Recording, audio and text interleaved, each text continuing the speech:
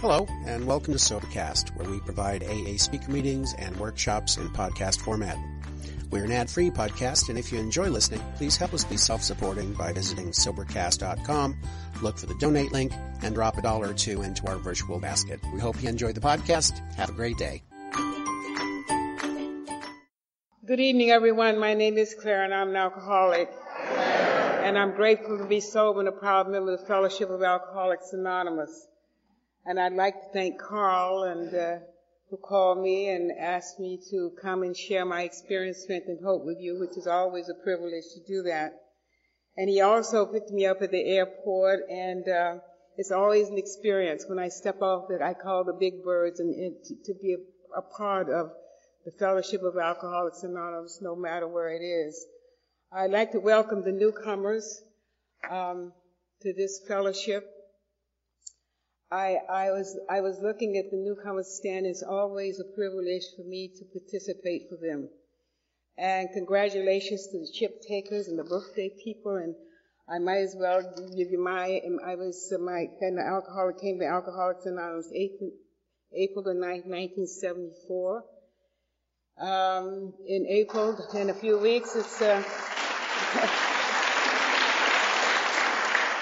continuous sobriety, I'll be 34 years sober. And thank you, God, for that in this fellowship. Uh, you know, we tell our story in a general way what it used to be like. And, uh, and one of the days was one of those perfect days when I, as I said, I arrived uh, yesterday and I came early because I sponsored Keeper and you know Billy for for a lot of years, starting out in Los Angeles. And this was a perfect day to, to be in your lovely city and this state. I've been here before through the years. And I, you know, I looked around and, you know, I, it was, it was, it was that feeling again. My God, for the grace of God and the program of Alcoholics Anonymous, I would have missed this. And you know, I might as well tell you how old I am so you won't start counting on your fingers because uh, I talk about times when a lot of you, well, certainly not here, um, January, last uh, few weeks, two to four weeks ago, January 17th, I was 83 years old.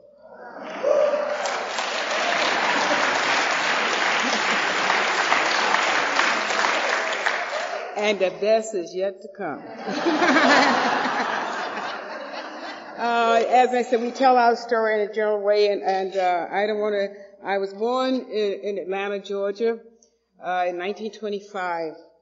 And I'm not going to spend much time in Georgia tonight. You know, I, I, I remember sitting on a segregated train out of Georgia and giving uh, Georgia the, you know, and, um, uh, but you know, I tell you a little about my family, and I came from a wonderful family. My my father was a full-blooded Cherokee Indian of the Cherokee Nation, and was born and raised on a, a reservation in North Carolina.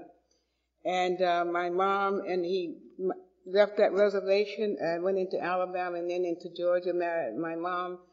And there were seven of us, and I'm the youngest of the seven.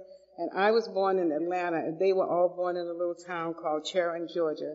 And I remember growing up in that city, and we talk about feelings a lot in Alcoholics Anonymous, but I never uh, quite felt that I fit in, and I grew up at a time in this country in the culture where uh, you know, I, I, I re- really realized that there was a lot of fear as I, as I, but I never saw alcohol, never. I went to church a lot. I had a stepmother. My mother died when I was three months sober.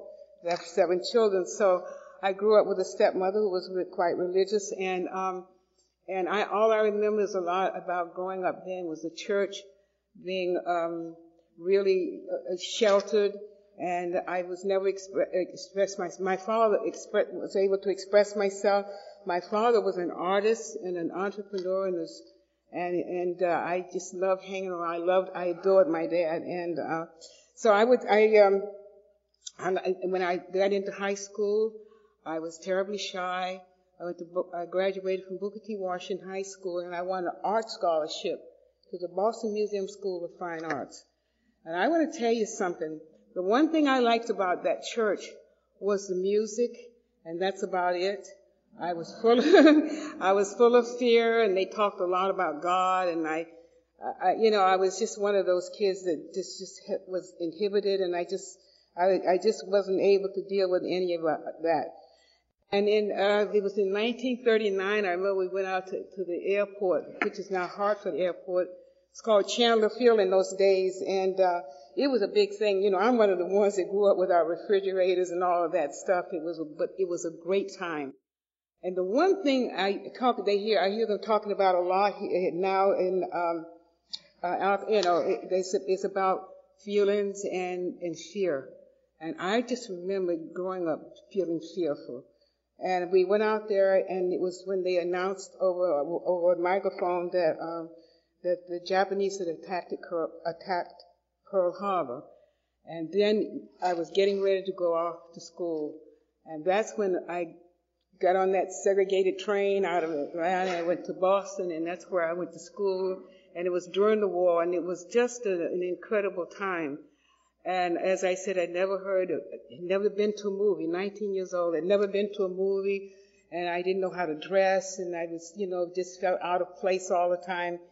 And uh, I started had getting some friends in that in that school, and I remember starting to go to the movies. I love watching people up on that screen in that dark room, and people talking to each other and relation, relationships or whatever that was they call it. And so uh, but I, I also started hearing the music, and I, uh, I could listen to records for the first time. And uh, I was walking down the street one night with um, with another student, and these people walked out of this this club, a jazz club, and it was uh, the streets were full of, of servicemen in uniforms, and it was rather exciting. And I, I, when they walked out, I said to my friend, "Why don't we just go in there and see what they're doing?"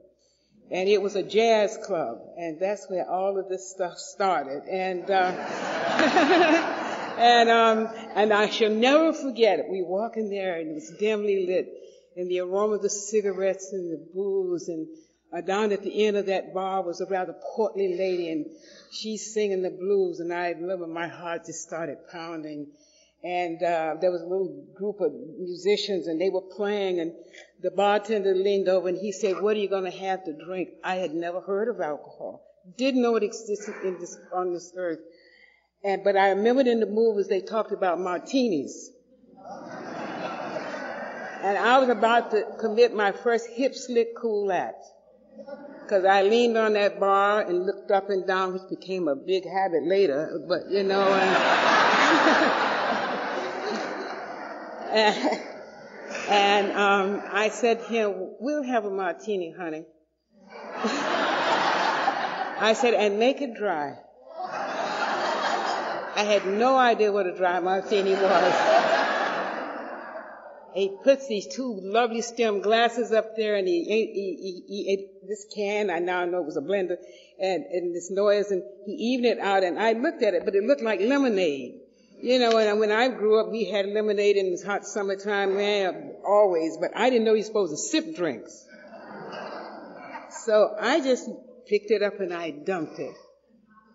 Pig from the gate, you know. But I remember the way it made me feel. There was a little dance floor out there and these couples were dancing. I'd never had a date and I was just terrified that that one martini just you know, that was a feeling of magic. The glass was empty. I still had it in my hand. I, who never smiled, was now had a permanent smile. I walked over to by the, stood by the side of that, side of that little dance floor, and these couples were dancing. And all those fantasies just kept roaring in there that I thought about, wouldn't dare talk about. That night I got myself some new friends. I had never had friends. But that's how I got myself some friends. Um, uh, the big book call I, the big book uh, I call them colorful, but the big book calls them loyal companions. I hooked up with the pimps, the madams, and the bad boys, and I learned how to walk the walk and talk that talk. And for years, I was able to do that until the disease of Alcoholics Anonymous took me to my knees, you know, pleading for mercy. I couldn't live and I couldn't die but it worked for me well. The big book of Alcoholics Anonymous, um, on page 21, where it talks about the real alcoholic. And, um, I, you know, I didn't know, I didn't know anything about alcoholism, but I, and I just, you know, I just knew I was having a wonderful time. And it was going to last forever. I met a nice young man on the bar stool one night who was a Bostonian and, and from a wonderful, lovely family. And uh, I was still going to that school, but you know, I, I was every night I started hanging in those jazz clubs. And I mean, I tell you, it was a run for about 10 years after I got out of school. And then we got married, we, we got married and, uh, started even have, we had a little son uh, but that became my lifestyle. Today, I know the difference between a lifestyle and a life because I began. I could walk into those clubs and standing under at that mic and stand up mics in those days. I started hanging out with Billie Holiday, Duke Ellington, and and and Louis Armstrong, and and I used to hang out with Dizzy, Sarah Vaughan, all of them in those. And that I mean, it was wonderful because it worked for me for a very long time. You know, in the in in the book, in, in more about alcoholism, it, decide it, des- it describes the insane things we sometimes continue to do to keep from doing step one and two and three. And in that list of insanities, you know, uh, it, it, talks about uh, natural wines. You know, well, I, uh, my natural wine ended up being ripples, so I just. you know, at the end of that run, it was it was ripple, and I wasn't drinking out baccarat crystal glasses and riding in limos and hanging in those clubs every night. And, and, and, you know, it, it was great while it lasted. Uh, but, you know, it starts to turn after a while. I, you know, I start giving up the, the, you know, five o'clock drinking and when the, when the cocktail proper people did started drinking at five, you know, it started getting down to four and three and, you know, that little son, we'd had a little son and now I'm too busy because I shoved him off on his grandparents to raise. And his grandparents absolutely loved him. God rest their souls because by this time, you know, I'm, I'm really, my life is consumed with what I'm doing and it's all about me. And I, and, and my, what I, what, what's, what's good for me in my life. I, um, would call, go down in those clubs at three o'clock in the afternoon. My husband's family owned a trucking company and and so we could hang out whenever we wanted to. But you know, the kids start to grow up, and I have, it, it was painful when I think about it today. And through the 12 steps of Alcoholics Anonymous and that inventory and that uh, eighth and ninth step, you know, it was, so instrumental to me. And the family, in the book, it talks about the family after. And so I ended, uh, you know, started uh, not going over there because that's too painful when he'd say to me, but mom, you promised me the last time you came that you were going to take me to the park. And I say, yeah, baby, but next time. You know, there's a paragraph that says selfishness and self-centeredness that we think is the root of our troubles. And it goes on in that paragraph to say we're, we're, we're busy, we're busy people. And we, you know, and, and, and, and I, I just got too busy. And whenever I get too busy nowadays, trust me, I know something is wrong and I better stop and take a look at where my program's going. Um, I started uh, hanging out with the mob. We started, you know, because they owned all those clubs in those days. And uh, they had the, uh, they owned, uh, they were all next door to each other. And then on, on occasions we get in that limousine and time's going on. That son is growing up now. He's about 10 years old. And we went, we made one last run over to New York, uh, to this great jazz club with the opening up. It was called Birdland. And Billy Eckstine was going to be the opening star that night. And I remember we piled in the limos and, you know, we drove over there and the next morning we came back.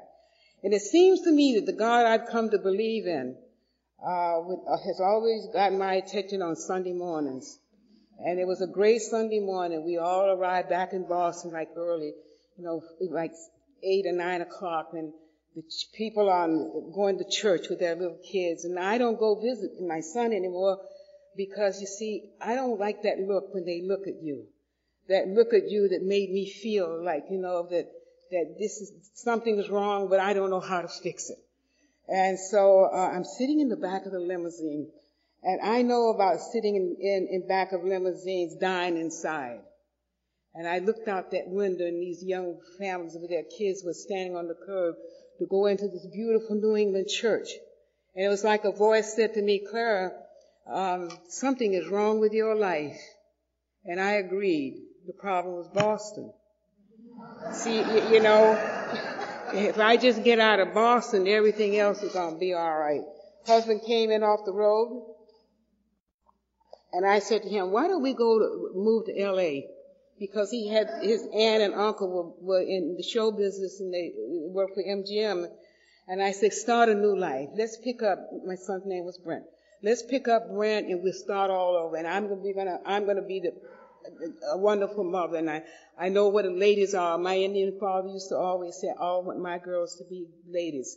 I knew what ladies were, but I hadn't been quite in that category for a while now, and so I'm gonna make a change. You know, all about a change. We put that kid in the back of that car. We went straight out Route 66, right in the L.A., and I went with good intentions. But you see, when I have good intentions and I take a drink, the drink takes me. Then I give it the power because I can't stop drinking.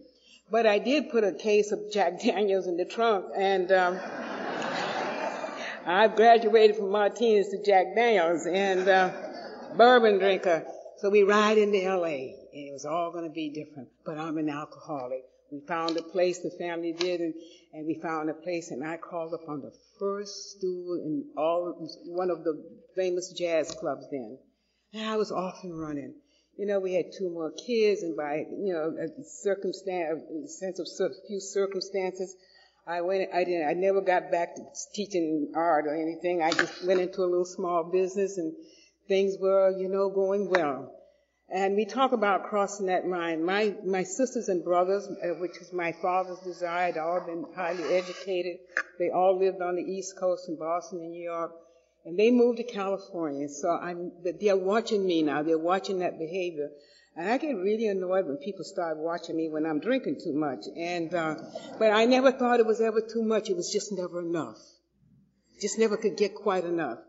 And, um, I'm beginning to lose it all. Thank you, God, that you took away from me everything I wanted in order to give me what I needed. Because it came that time in my life when I needed to stop drinking and I needed to uh, stop dying and I need to find a God of my understanding. And so it, so there it was. And, uh, I remember my sister was a nurse in one of the hospitals in Beverly Hills and I went over there one, one day and, and when I was losing it all and now I'm in blackouts. Just like the, the book describes, and I'm just, I just, you know, I'm out of control. And that had never been the case for me for, you know, for, for years. And I go over there and she's sitting there because all I need is two more payments, you know, to save the house. And I told her all these things I needed. And she looked at me. People who love us look at us with that look. And I could still remember feeling her pain. And she said, you know, it pains us to watch you live the way you live. And it's going to pain us even more to watch you die. Now, growing up in Atlanta, you know, death was, was one of the things that, I, that was most fearful.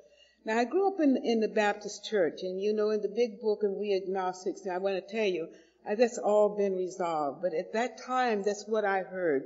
And I realize now many times that that was my perception of what I understood. Well, what I heard, thought I heard them say, you know, my stepmother used to tell me, you know, when you, you're not a good girl, you know you're going to die, you're going to go to hell, you're going to go to hell. And, and they used to tell me these terrible things and this fear about dying. You know, I, you know, I want to just pause for a moment. When I got sober in LA, they used to have a lot of bumper stickers. And there was a bumper sticker I was riding behind as a newcomer. It says, you know, good girls go to heaven and bad girls go everywhere. You know, I've been one of the bad girls, and I wasn't about to go to heaven. I didn't think so. So, um, so I, so I, um, I started, uh, you know, I just, just, it just, I started what, I just couldn't keep up with, with whatever was going on around me. And when she said that, I bolted out of that hospital. And I went and I stood in, in, in front of that house and watched the marshal put the lock on the door. That older son was then, uh, then studying in the theater in, in, in the, the high school and, and getting awards at UCLA and for dramatic uh, performances. He was like 14, 15 years old when, that all started, but now he's about 19, 20 years old. And we were, um, uh, he, he was in and out of my life even then. And I should never forget, you know, was standing in front of the house. They're putting a lock on the door. and the two younger ones. My daughter was uh, by maybe eight or nine or ten years old at the time. My my next son was about uh, I guess 12, 13. And they're standing there looking at me, and it's all gone. The house is gone, the cars are gone, and that business is gone. I drank it all away, and employees, and I came in here on thousands of dollars on payroll taxes, and on and on and on, and I just couldn't stop drinking. Um, but I remember this oldest son, who was about 19, looked at me and he said, You know, I don't know where you're going, but I'm not going with you because you, you've never been there for us. And the arrogance that I stood there looking at their son crying silent tears. You know, I, I couldn't cry any more tears. And I wanted to say, but if you, if you understood, you know, if you, if I knew better, I'd be doing better. But my arrogance said, and screw you too. And I'm going to tell you I'm a double winner, thank God, because I'm a member of Al-Anon today. In the, book, in the big book of Alcoholics Anonymous, the family after, thank God for that, you know, uh, for the wisdom of the ones who wrote the book. Uh, and he walked out of my life, and I'm standing there, and I had no place to go. And that family was a loving family, and uh, and I couldn't go to them anymore. And, uh, and, and and when they said they prayed for me, I've come to believe in the power of prayer. I, I, looked at the two young ones. I had one friend left. It's the, I always believe that God leaves us an angel in our life, there are no mistakes. I've heard that for years from the old timers in Alcoholics Anonymous. There are no mistakes. And God is work, was always working in my life anonymously because always there seemed to be someone there. And uh, she's an Israeli friend of mine and they, they had watched me because by now I'm ending up in blackouts and being beaten up in the streets. And I remember that husband came to me. We drank drink for drink. It ended up, I always thought he was the, he was the one drinking too much, but it was me and I didn't know that. And I was, I guess you call that judgment. And so I was ending up in County General Hospital in LA and that is not one of your favorite HMOs, let me tell you. With nervous interns from USC, you know, stitching you up and out of, coming out of blackouts and, uh, you know, you're the second half of the first step that my life was unmanageable and the first half of that step tells me that I'm powerless over alcohol. See, I didn't know that, that, that, that, my unmanageability is because I couldn't stop drinking. And so it all ended up and she has mailed me a little, and I put it away in an envelope and never opened it. And all I had was a bag and those two kids, because they gave me 60 days and my life was just so, so unbelievably out of control. I couldn't get anything together and what I had on. And I called the cab and I opened it up and there was some money with an address on it. And I handed it to the cab driver and he said to me, lady, this is the ghetto, South Central Los Angeles. And my attitude was, whatever, whatever. And I get in that, and I get in that cab and I look at those kids and I want to tell you about that journey. It's, um, I remember driving up there. I'd never lived like that. I'd never knew that that part of our Los Angeles even existed.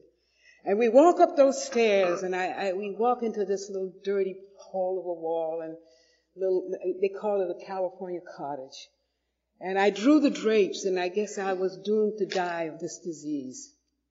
And I looked at the kids, and they're looking at me, and it was dirty, and it was furnished, and uh, and that was, that was the beginning of the end. For three years, I lived down there. And I used to come, um, you know, I, it got so bad that grandparents moved out and, and took the kids and bought a house and they moved into uh, Santa Monica, Venice area. And uh, there I am, you know. I'm gonna tell you. I, let me tell you my what I got dressed and what my what I wore for the journey. I, I bought myself a white terry cloth robe, and I bought a bright red wig, it had bangs. And by this time, I am a full-blown whinette. And, uh, and, um, and I used to get drunk and trim the bangs. you should have seen me in front of the mirror. Drunk, you know. I had what you call zigzag bangs. And, um, then I would sit in, you know, in those days they had black and white television. It used to go off at midnight. The channels all went off at midnight. And I would sit in that chair, that overstuffed chair. And I would stare at, at just driven with fear. Like I said, sick of living and couldn't die. And, but that my heart would start to pound. And I would get out of that chair and go to any of those sleazy uh, joints that where I used to, you know, you know, I used to go to the Cotton Club and I used to go to Harlem and I used to hang out in, you know, in uh, the finest uh, clubs in those places and drink the best and do the best and look good, looking good almost killed me out there, you know, looking good. And now I'm, I'm, I'm, I'm, I'm stumbling and by this time, you know, I have, my body is blown up. I got wine sores on me and my mode of transportation around town was a pair of gold fuzzy house slippers. And I, uh, and I'd mosey on over to around midnight to the, to the bars because I had to hear the music. You see, I had to hear that empty laughter, you know, and all the geniuses sitting on the bar stools and solving the world's problems. And I just go in there and I used to complain about Queen Elizabeth and, you know, I mean, we, we just, you know, I used to tell, you know, know how she should run England. And I was really into it. And, uh, and then, you know, I'd go into those blackouts. And I'd end up sometimes at, awful hour of the morning. The bars in LA closed at two o'clock. And at awful hour of the morning, I would, uh, come to in a fetal position in front of that house and tall wet grass. And the silence was deadly. And I could hear, you know, dogs travel in packs when you live in the ghetto. It's all about survival. And in those days they had metal trash cans out on the sidewalk. And I would be down in that grass, you know, you know, crying and dying and, and then, and it would take several of those dogs to push the can over and I could still remember the lid rolling down the street. And I'd make a deal with a God. I didn't believe in God. He just get me off the ground this morning. And I could, you know, my little daughter, you know, her image would come into me and I'm down there. And she, and she used to say things to me, but mom, you always promised me you'd come in the PTA meeting. And I said, yeah, baby, I am. She said, but you always get drunk. And I cannot tell you how that used to just leave me distraught lying there. And then, and then I'd get up off of that ground and get up those steps and get down that hall in that dirty environment that I lived in, get to that bathroom, get on my knees and, and my, and my chin rolling around on that cold porcelain and I'd pass out. And when I come to, I try to focus. There's two words that always greeted me uh, uh, American Standard, you know. And, you know, you stare at that long enough, the words get straight, you know, and then I'd get on up, you know, and then that's when I would just, you know, just get up and start it started all over again. That was day in and day out. You know, there comes a time when I, when I study the book, because Alcoholics Anonymous, the big book is a textbook. You know, it's not a novel. It's not something we put up on the shelf every once in a while and on a rainy day we pull it out. You know, um, I see a lady here that um, was in Los Angeles at uh, several, I guess, months, and I do um, I do a uh, workshop for 20 some years uh, based on Joe and Charlie. Some of you know Joe and Charlie. I used to travel around the country with them, and I have the the, uh, the manuscript to their uh, big book study group, and I've done it for years. And you know, and I and I in, in the book it talks about it talks about service and and you know I never thought of any the self-centeredness that always um, was part of my lifestyle. You know, I just never could get it together. So when I would uh, trying to get get get up off that floor and I'd stumble on out and start another day. And um, I don't know what happened uh, one morning that was different because my usual day started with me waddling down to the nearest liquor store, staying in front of the door, and waiting and waiting and waiting for the um, and for the that owner, the clerk, to come. Uh, it's it's called pitiful incomprehensible demoralization. When I'd stand outside and wet myself you know, and trying to act cool. My cool days had long been over, you know, and wait for him to go inside and I'd stand at that counter and watch him count the change and, and, and then, and then, then put the change away and lean on that, and lean on that uh, counter and say to me things like, what are you going to drink today? Uh, your usual? Uh, what are you going to have, Thunderbird or Ripple today? And I would get annoyed with him, and he would put it in a paper bag, and I, I would just snatch it out of his hand because he'd play with the top. And it was like, you know, you know, and just get out of his way and, and, and get past the plate glass window and back, get back to that house. And that's what it was like for a long time, for those three years. For me, that was a lifetime. And one morning, I don't know what was different. I had been out partying again. I never wanted to give up being a party girl. I did it so well, you know, and and one more time, I just couldn't give it up. It was on, and it was on a, another Sunday morning, and um, they didn't have cell phones in those days, but I was getting uh, coming out of a lot of hospitals just for you know treatment of being beaten up in the streets, and I and it was on a Sunday morning, and they had the you know pay stations out on the sidewalk, and this is the last I remember. Uh, was a leg with a cowboy boot on it, and my head was against the curb, and he was kicking me in the head, and I know about pain. In the big book of Alcoholics Anonymous, so beautifully described the, the insanity of the disease is called the jaywalker. And I kept doing insane things over and over with my insane friends, always expecting the different results. But somehow, I, he was kicking in my ribs and I passed out. And when I came to again, I was in a Catholic hospital, not far from the ghetto where I lived. And over me were paramedics pumping me back to life, the police there, this older nun with a black habit on, and she had her hands in the sleeves, horn rimmed glasses on, woman, probably a woman about, probably in her sixties.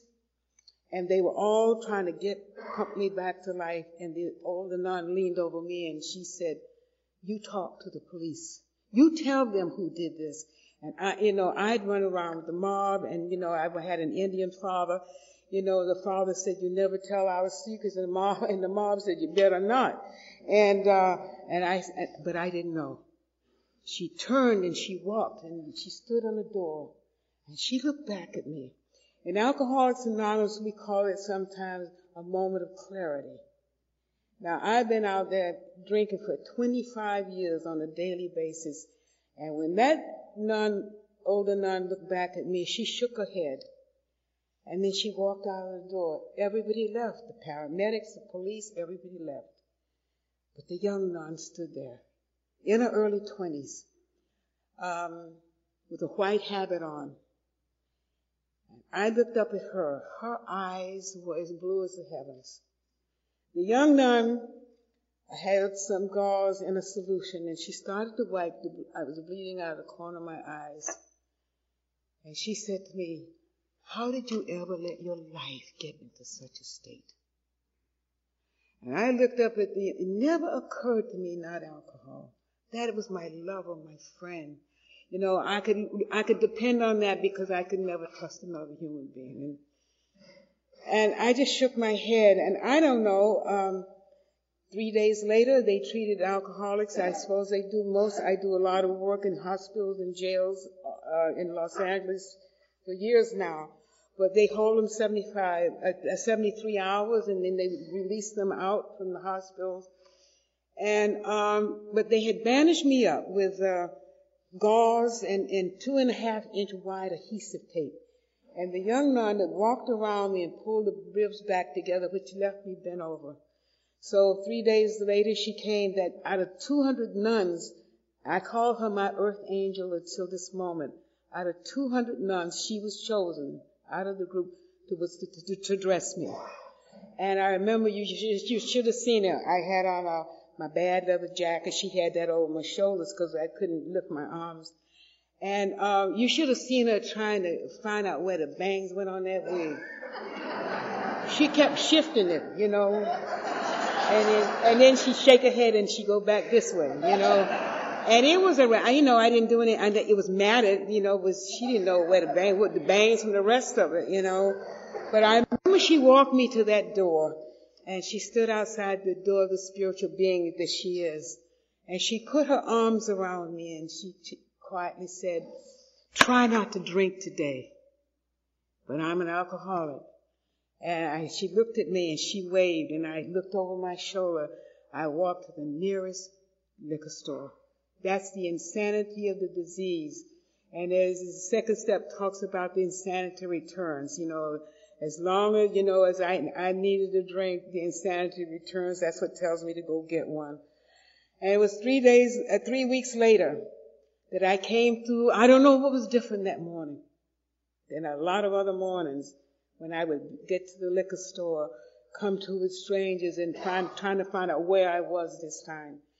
But I, I, um, I came to in, on a dirty floor with the, I hope I never forget the stench of a dirty, dirty body. And uh, I had lost the will to care.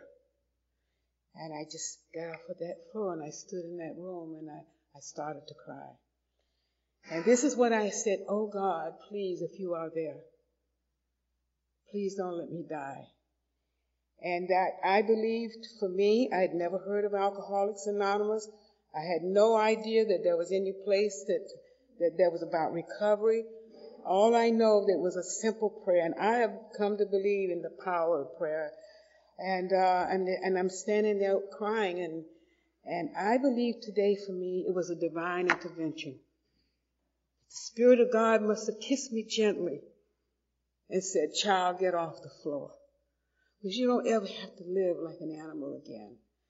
And I um, stood up and I walked and called my same friend who gave me the money to go go to the to go to the ghetto. And I said, Rachel, I think I'm going to die, if I don't stop drinking. That was my first moment of truth. And she said, you know, we've been, she's not an alcoholic. She said, we've been praying for you. She said, there's a place called Alcoholics Anonymous. And she said, uh, I don't know their number, but I hear they help each other stay sober. And little does she know, she's still my friend. Talked to her last week, maybe a friend over 40 some years. And, um, and I went to the phone and I picked up the phone and I said, the operator answered and I said, uh, is there a place called Alcoholics Anonymous? And she said, yes, dear. She said, uh, uh, it's called Central Office, and I'll put you right through to them. She probably was, maybe she was a member of Alcoholics Anonymous. How was she known, you know? I always couldn't figure that one out, you know. So uh, she put me right through the central office, and the man said, "Good morning. This is Alcoholics Anonymous. Can I, may I help you?" And in my best street language, because I know all about the streets, and I want to say to the newcomer, you know, there's a song out. It's called uh, "Street Life," and and I love the lyrics were really written for me. Um, it, the lyrics goes like something like, "If you're young, don't get old in the streets." Because the cold's to hit you in the back and you're to nickel and dime your life away. You look back one day, it was all a masquerade. There's a thousand lives to play out there till you play your life away. And there, you know, and so he said, do you think you can stay sober today? Nobody ever said today. They always told me how I could stop drinking. And I could never do that. And I never even tried. And I said to him, I don't know that moment. I said, I think I can do that. I'll try. And he told me about the meetings, and he said, You go to meetings, they will greet you, and he told me where to go. Now, I told you my story. Here I am smelling like a bear who never had a bath in ever, you know, not, not even in the rivers. And I, I'm bloated, I got wine sores, I got fluid running down my cheeks. And I say to him, Do you have meetings in Beverly Hills?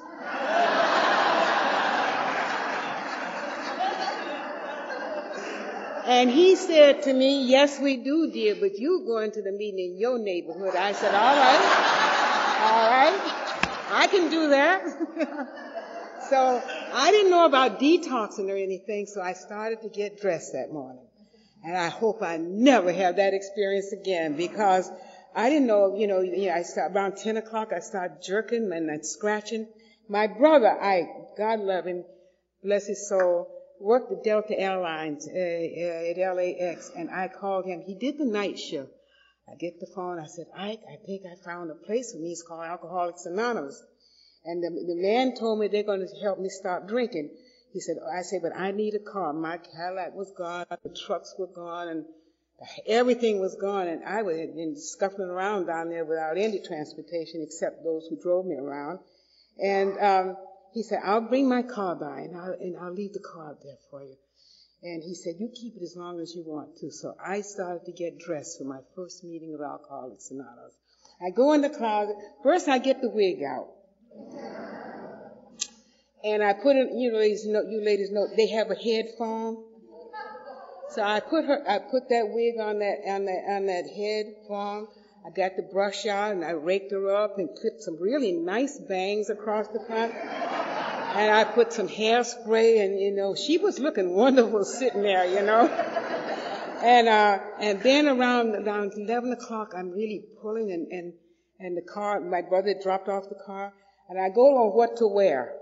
Now I got a red velvet dress, and this is April, and uh, I was 65 pounds overweight, and this, and this, you know, I, the, the hips had kind of pushed out the seams, and and I cleaned it up, all the wine stains off the front of it, and it hung in the closet. It looked really nice. Around one o'clock, I can't stand it. And I fought going to that liquor store, which was three doors from where I lived. But I went over to Woolworth's and I decided to browse and kill time. He said it was an eight o'clock meeting, so at seven o'clock, you know, I went, I was going to be ready by seven o'clock, so I was browsing. So um, I was just going from counter to counter so, uh, just to kill time. So as I said, and then I stole some eyelashes for, for my first meeting with Alcoholics Anonymous. and they come quite long. And I didn't know you were supposed to trim them down to size. So at seven o'clock, I'm standing in front of the mirror, and they come with a little tube of glue, and I am bouncing like a motor and I'm getting the glue along the edge of the lash, and I remember, and I grabbed my elbow, and I waited for an opportune moment. and then I slammed it in. One end was up here, the other end was down there. I'm looking at myself in the mirror. I'm too tired to start all over. So I leaned in the mirror and I said, you are looking good. And I went off to my first meeting of Alcoholics Anonymous. And I shall never forget that. And that was the last day uh, that I that I had ever. That, I want to tell you what happened to me that morning on that floor. I believe that the compulsion uh, to drink was removed. I have never had the compulsion to drink again. The thought of drinking is the insanity of disease that will always be there, whatever the circumstances are. And I've never, but I believe what happened to me, I've thought about this many times through the years. I talked a little earlier about, you know, growing up in, in Union Baptist Church, and one of the things that I always loved was when I sang in the junior choir was the music. And the music were always spirituals that the slaves in the fields of Georgia who couldn't read or write would put those lyrics together and they would sing the songs that used to touch my heart when I would sing it. Because I always wanted to be in that world of, of, of music, and I just, it wasn't my talent, but, and I remember one of the songs that they used to sing, it was my favorites that happened to me that morning. The lyrics went something like, soon one morning, death came knocking on the door. Oh my Lord, oh my Lord, what shall I do? And that was my, I believe, the God in my life that divine spirit that I call that lives within me, that I walked to that phone. And so he didn't tell me it was in the church, I, because when I sat on that segregated train out of Atlanta, I made two commitments. I would never put my foot in the church again, you know, and I never wanted anybody, anybody in my life to tell me what to do. It was the arrogance and the, and the ism, I guess I'd always had. So, um, I, I, I just had those commitments. So when I, uh, I he told me where, where the church, where, where, it was, he didn't tell me it was a church. And I remember walking uh, up up the um, up the uh, up the drive up the, the drive. It was a driveway, and then you went up the steps. It was the back of the church we went into, and the greeter was there, and he said um, he said, um, "Welcome to Alcoholics Anonymous." And I sat down, and we didn't have treatment centers in those days, and we all came right off the streets and uh, and out of the get out of the street people, and and uh, and, and that and I I just, I remember sitting on my hands and bouncing around. And uh, the lady, they started the meeting, and the lady behind me touched me on my shoulders. And, and when they asked for the hands of the newcomers, that's why I welcome the newcomers because I didn't know I was a newcomer. She said, raise your hands, honey, you're a newcomer. And I raised my hand. At the coffee, at the coffee break, uh, they had real coffee cups in those days. And uh, I went and, and I was shaking so bad. And They, you know, when I got sober, they didn't have detox. They didn't have any of that. The old comers would come, old timers would come to the meetings with a jar of honey and a spoon and a squash of lemon in it. And when we would go have, when we used to um, go into convulsions in meetings, they would just get the honey, put it in, us, take the 12 and 12, put it between our teeth to keep us from swallowing our tongues. And that's what, that's what the meetings were like when I got sober 33 years ago. So, uh, and I, and when I, I was shaking so badly I couldn't hold the cup. And this lady walked up behind me and said, uh, my name is Claire on a little piece of paper. She had written her number.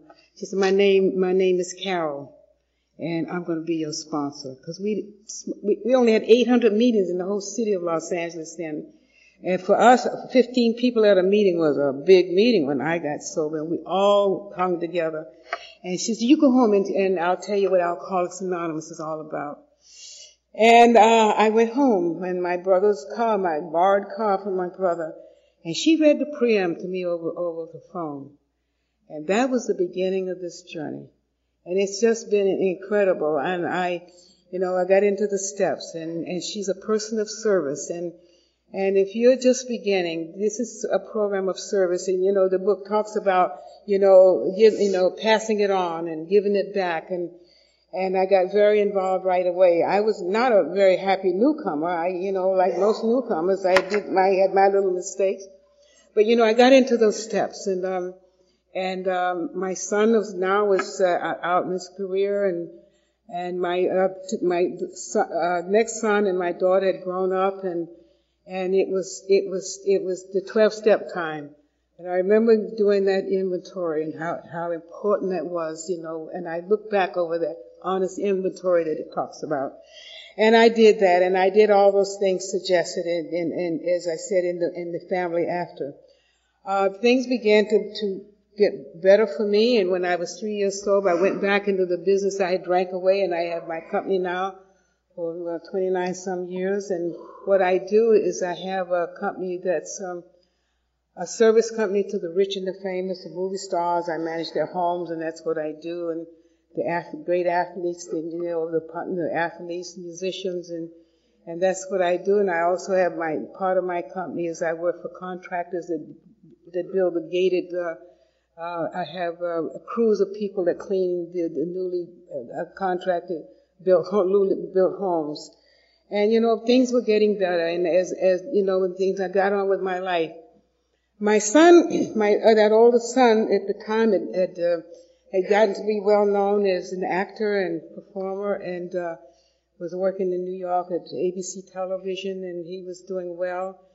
And he, ne- he never, he kept his promise. He didn't, I didn't see him for four years into my sobriety. And I'd like to talk about this part in the family after because um, my sponsor, as I said, sent me to, to Al-Anon. And he had that occasion when we doing the, when we were making that, when I was making that amends to him and it, as a direct result of the fourth step. He came home to visit and, uh, I sat him in that room and it was so painful for me to take the responsibility of, of my, what part my life played in his life. And you know, I had to get honest, and that was very hard for me uh, to tell the truth. And I remember sitting in, and he was a handsome young man, and he's sitting there looking at me, and and I said, you know, if if I had, as I said earlier, if I had known better, I'd have done better. but I I, am a member of Alcoholics Anonymous now, and I don't live that way anymore. And and he looked at me and he said, Mom, he said, you know, that's today. He said, tomorrow is gone. We don't know about tomorrow, uh, uh, about tomorrow, and and let's just do it a day at a time. And he he never was knew anything about a 12-step program. He was just a wonderful young man, and uh, he went back to New York to work. Uh, my that daughter that I couldn't go to her PTA meetings. Um, uh, grew up to her parents sent and I saw that daughter, the promises coming true. And I saw that daughter go into the ice capades as one of the first black professional ice skaters in the, with the Dorothy Hamill tour. And now, you know, I look back and that's what Al-Anon helped me with a lot was to, to, to, to, to, to bring that, our relationship. And I want to tell you, you know, I done, it may take a long time, but it took me years to get the kind of relationship I just actually four years ago. We, what we did, you know, I, we kept, we kept trying until my sponsor said, look, you let go and let God. And when, when things happen, it's when they're supposed to. And now we have a wonderful relationship.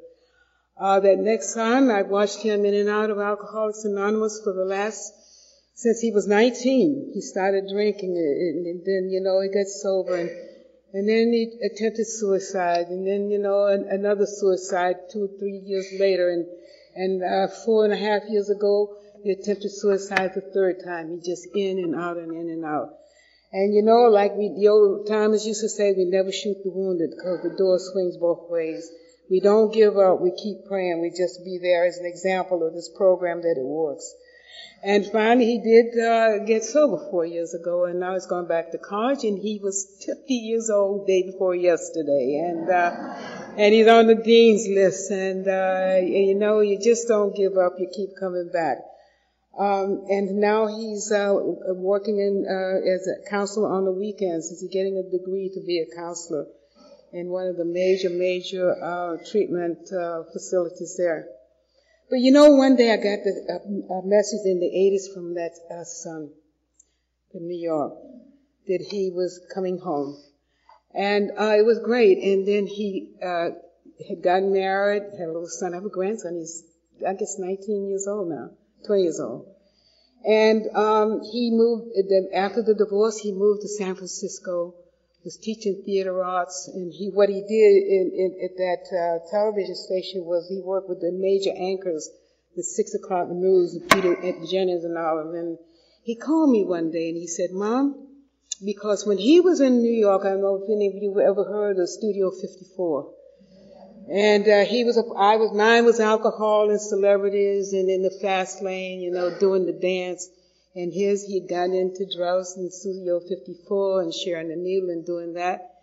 And in those days, we didn't know the danger of that, of cocaine. And he was in, in San Francisco and he was doing, um, teaching theater arts and he called me, Mom, he said, you know, we become such good friends.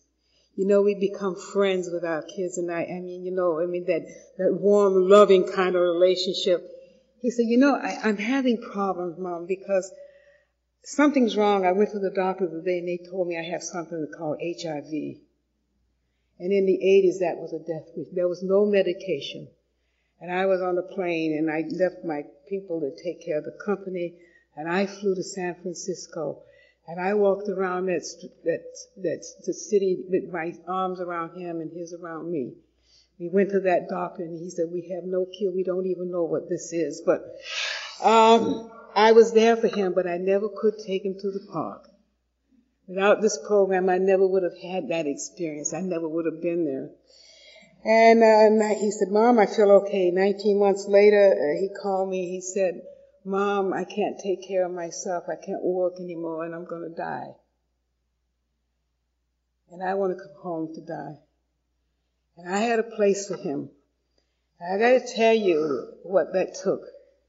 And, you know, I was sitting by his that bed for many, many days. And if you're new, I want to tell you, never in your life have to do anything alone again.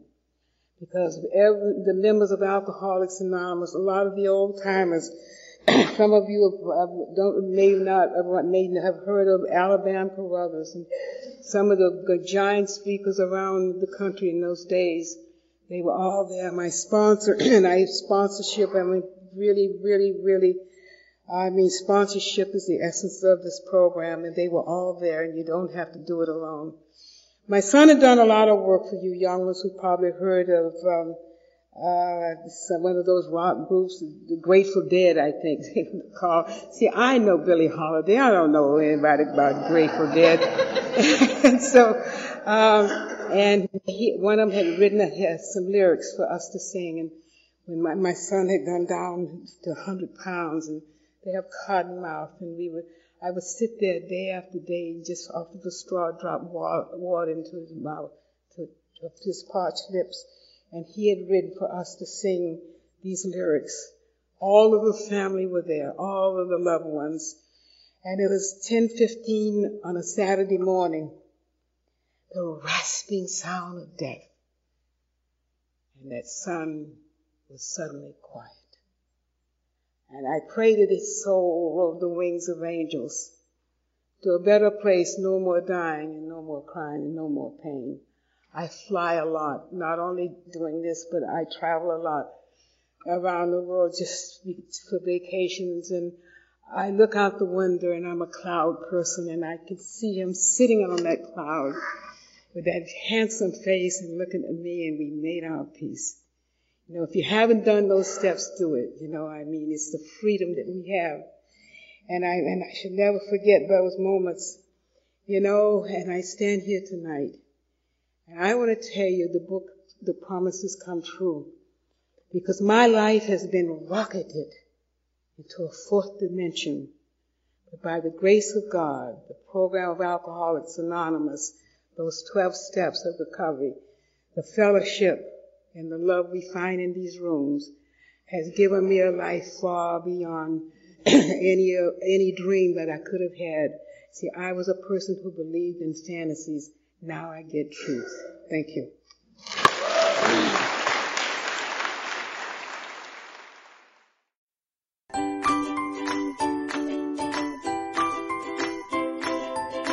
Thanks for listening. I hope you enjoyed the podcast. Sobercast is ad free, and we'd like your help in order to keep it that way. So if you'd like to help us be self supporting by pledging a dollar to a month, visit Sobercast.com and look for the donate links. Thank you very much.